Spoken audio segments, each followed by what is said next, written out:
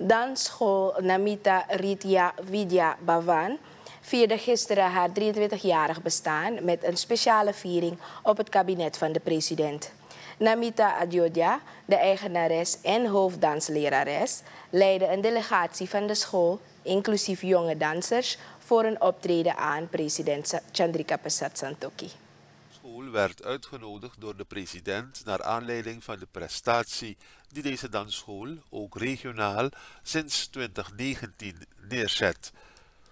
Tijdens het evenement werd de lancering van de officiële website van de dansschool, waar bezoekers kunnen kennismaken met de traditionele Indiase dansvorm Bharatanatyam, aangekondigd.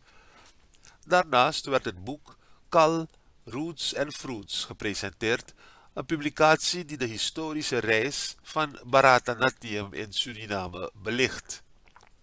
De president riep de dansgroep op om te blijven werken aan professionalisering en het zich aanpassen aan de moderne tijd.